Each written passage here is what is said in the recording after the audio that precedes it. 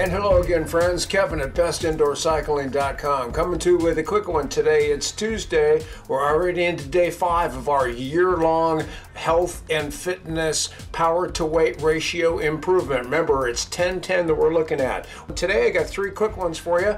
Number one is take a look at this thing. This is an egg, it's a fresh egg. It was given to me by one of my dear friends, a client uh, who has a uh, hen house full of Rhode Island Reds, and uh, this is this is one of my favorites. So uh, if you're not currently using the egg uh, as part of your diet, uh, you might want to consider doing so. Thing number two is breathing. We talk a lot about diaphragmatic breathing around here and using the, the nose tool in order to uh, accommodate oxygenated blood flow into working systems. Um, one of the things that makes this really easy is, is here a little uh, natural essential oil. Um, it's called Breathe Right, and you put a little, few drops on your hands. You create what they call a mask, and you breathe into it, and it opens up the uh, the nasal sinus passageways to allow you to breathe properly and, and get that good oxygen down towards uh, your working muscles as quickly and economically as possible.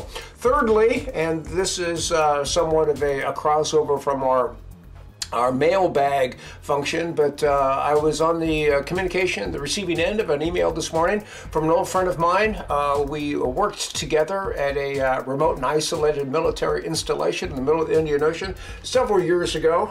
And uh, this is a reminder of those good times. And, uh, you know, Scotty is, is back stateside now and uh, working in the Dallas Fort Worth area. I currently have some uh, video of uh, Austin, Texas, up here, as close as I could get to that, Scott.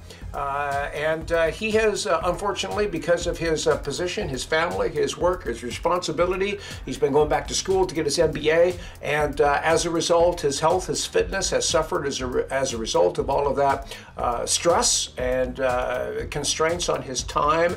And suddenly he found himself up to about 230 pounds, up from his normal. Well, when we were racing together and riding together Indian Ocean, he was at 170, 175. So you can see where he's going. He says he's trying to get in as much work as he can on his treadmill at home, doesn't have time to go to the gym. Uh, can I suggest anything? He's also come up with a, a little bit of a thyroid issue and uh, wants to know if we have any suggestions uh, in that regard. Scott, we sure do, bud. And uh, I, I, miss you a ton and miss all those good times that we had. And thanks for your compliments. Uh, let's think about getting an indoor trainer. Let's think about going to Amazon.com, fine, and uh, picking up a, a nice, uh, simple, entry level indoor stationary bike trainer for 230, 240 bucks. if you're a Prime member, I know you are.